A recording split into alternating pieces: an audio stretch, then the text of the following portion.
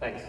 Uh, so I'm going to talk today about trajectory optimization and control also of rigid body systems through contact. So we have a slightly different, different twist than what you've been hearing. Uh, you know, I think what we've seen today is that trajectory optimization can play a really, really powerful role. It's, it's a very useful tool we have for, for motion planning. Uh, I want to think about the question again, how do we intelligently plan these trajectories through contact discontinuities? Right, so we thought we knew, uh, and then we were presented you know, about a year ago with this, this fast runner robot from the folks down at IHMC. This is just a, quick video of the leg. Uh, and this, this, you know, to, to phrase Russ, I think, rocked our world.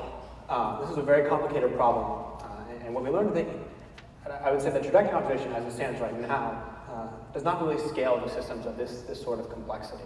I'll get into why in a second. Uh, what's the, the more traditional worldview here? We might look at a hybrid trajectory optimization problem. Uh, so say we had a swing and a stance phase, and we look at continuous dynamics of the two different phases here. Uh, and then we have you know, some impulsive collision event that occurs in between them, and we'd optimize these two different, two different modes individually. Uh, and as part of this, we've come up with, with a sort of mode sequence. So for a simple walking gait, we go all the way from swing through toe off, and we'd specify this a priori, uh, uh, optimize the modes individually. but then what happens when we get to something, something more like fast runner? Now, uh, here we're looking at 22 discrete variables. That's in a planar model, contact points on the feet, as well as joint limits, which are very, very similar, uh, especially when you're impacting these joint limits around contact with the ground. So instead of that nice clean picture from before, we might have a very much more muddled mode sequence. Now it's no longer really obvious what a good, a good sequence is going to be. We want to be able to reason through contact instead of treating this contact as a, as a black hole uh, or a tunnel from one mode to another. We want to be able to reason through it. Uh, you know, there's a lot of people out there, a lot of communities out there who thought a lot about the contact problem. Uh, I think graphics is one, certainly, simulation uh, and grasping.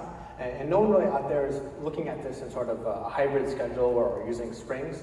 Uh, the idea is to treat these modes implicitly. So we can specify a set of constraints, non-penetration, strict non-penetration, uh, as well as a complementarity constraint. Uh, and there, uh, there have been certainly recent applications of this sort of approach towards optimization and control. Uh, what we'd like to do here now is to fold the complementarity uh, into the optimization problem. I'm going to directly optimize over, over the state and control input, but as well as the contact forces. So they're now, those forces are going to be uh, optimization parameters in, in our program. Uh, and this becomes a, a, DT system. So we're looking at discrete time only, uh, which works for us because the, dynamics are not, uh, are not continuous anyway. the big takeaway is we don't have a mode schedule anymore. We don't really have any, any real concept of mode. Everything is treated implicitly. This is a, just a look at what the, the resulting nonlinear program looks like. Uh, as you can see at the top, those lambda forces, you can read them, those are the contact forces. They're now optimization parameters. We have dynamics and contact constraints. And, and of these, I'll just highlight one, which is the complementarity constraint. So phi is our guard function, uh, and lambda is our force. We have a complementarity, which is enforcing that we don't have uh, contact forces occurring at a distance. So uh, we're either in contact with the ground, phi is zero, and we can have an arbitrary force greater than zero, really. And, and if we're not in contact with the ground, we can't have, can't have a force. So the first system we looked at here is the spring flamingo. Uh, we took a, a, trajectory from, from Jerry and others and looked to reduce uh, mechanical cost of transport. Got a number down to um, 0.04, which is think, similar to the mechanical COT uh, mentioned by the, the Ranger team. And the resulting uh, behavior looks a little something like this. It's a very lazy gait. See, uh, kind of swinging that foot barely over the ground in order to, again, reduce, reduce COT. Uh, this plot here shows the, the mode sequence that emerges as a result of this. So uh, each of four levels here is a, is a different mode per foot, with two contact points per foot. We have four modes on each foot. Uh, and, and, we initialize our program with the, the red, so very coarse right-left motion, really giving very little information to the optimizer. Right? And what emerges actually is a distinct heel strike and toe off. Uh, so again, this, this mode was not given to the optimization procedure, and it all emerged rather, rather naturally. Uh, and then back to the system we were really, really originally motivated by is the fast runner. Um, so we've kind of lost the intuition here for the modes. There's so many of them. Uh, but I think the takeaway here is that in the red and the blue, they're very different. We, we have almost no agreement between the initial trajectory, which came from IHMC, and our resulting optimized trajectory. So I think this is a, hard problem, the, just the sheer combinatorial number of modes and trying to, to plan a trajectory through that. Uh, and then the resulting gait looks like this. This is around uh, 20 miles an hour. Again, with the cost, uh, the goal of reducing COT. Uh, just to, to, summarize briefly, um, I think this is a very natural way to take the LCP and fold it into our optimization procedure. And we can synthesize very interesting, complicated gaits without the requirement for a mode schedule. Uh, open questions. Uh, relaxation for the complementary conditions have been useful, so we relax them and tighten them down to a strict condition. Uh, this is pretty similar to, I think, what um, uh, Yuval was mentioning earlier. Uh, and uh, we would also like to look at extension to, to MPC as well. Uh, so with that, I'd like to open up for questions.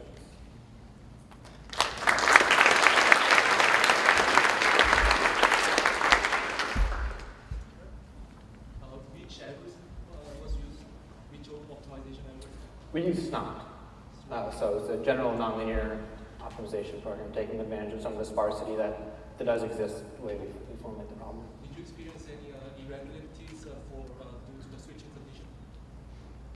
Uh, you mean the complementarity conditions? Uh, in terms of like a local minimum being achieved, or, what do you mean? Numerical instabilities or uh, unable to find the feasible regions? That, that does happen, and I think you can, um, using a, a, good initial trajectory certainly helps guide. I mean, this speaks to the local nature of the problem. Good initial trajectory, um, that the relaxation of the complementarity can help you avoid some of the numerical problems. So what we do is we relax it, run it, uh, and then tighten it back down to a strict feasibility to help help avoid kind of nasty local minima. Um, the gradient information also Well, the gradient information comes from the way we write, we, we fold that in. So we take the, the complementarity constraints, the contact constraints, and put them you know, as, as, constraints into our, into our program. So there is full gradient information throughout, throughout the optimization.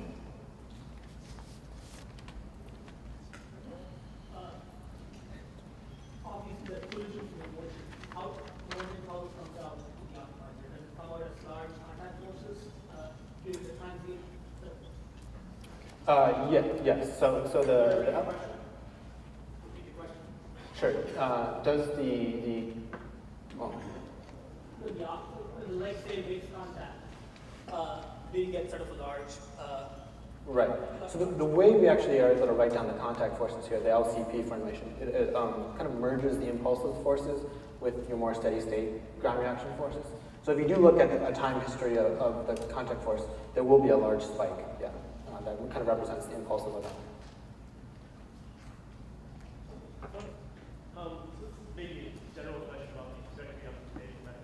Mm-hmm. Biological motor systems, there's a lot of inherent variability of noise. Um, are these uh, methods take motor noise into account? And if not, do you think they would be able to? Uh, so here we're looking at you know synthesizing the trajectory as opposed to, to stabilizing it. Um, I think a question was asked uh, earlier about robustness, um, which is certainly an issue. You can, you can uh, you know, try to address that through a cost function, for instance. Uh, and uh, actually, Hongkai, over there, has a poster session looking at uh, kind of robust trajectory optimization as well. Um, but it, you know, uh, here we're looking at kind of splitting the, the control and stabilization versus the trajectory synthesis. A lot of the simulation people have uh, long done another method, which is uh, they just cheat the contacts with uh, springs and dampers, say, from the ground. Mm -hmm. In order to use a, spring and damper system, you have to have a very stiff spring to get any, any sort of realistic, uh, and which is not really a tractable uh, solution for trajectory optimization. Because uh, we like to here to take kind of rather coarse DTs. I think um, I think this was mentioned earlier. We have to take a rather coarse trajectory. Uh, if you have to have a very stiff, stiff, system, you have to have a lot of time steps, and the, the problem quickly becomes intractable. Sorry, maybe I misunderstood something. But, uh, last movie is showing the fast runner. Sure. It looked a bit uh, funny, uh, and I and I understood from the fast runner that it's really cost efficient and also intrinsic stable. So why didn't you find the, the node solution, the intrinsic stable solution of the fast runner?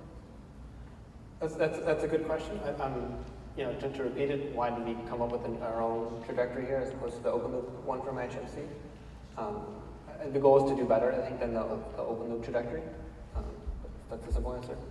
I mean, the, the sine wave being open loop stable is fantastic and, and it's awesome. Uh, we'd like to see if we can we can beat that. And uh, also, if you look at the movie, it seems that the center of mass is a bit too much to the front, so my physical feeling say it should fall forward. Why doesn't it fall forward? Uh, that, I think that's a, just kind of a, a visual artifact. Um, if you, if I were to slow this down, you would see that when the foot is actually contacting the ground, it, it is underneath the center of mass. The, there's some weight in the legs here, and, and but you know, if I were to slow it down, I could be able to see a little better. Last short question. Do you have an anecdote about the transport, about the transport for fast starter and, and do you have one to do with simulation? I don't off the, off the top of my head, no. Sorry. Um, I think the IHMC guys know kind of where they're at um, on their end right now. But you know, it is. I, I, I, can get you the number later, but. Uh, Okay, so this concludes this session. Let's thank our, all of our speakers again.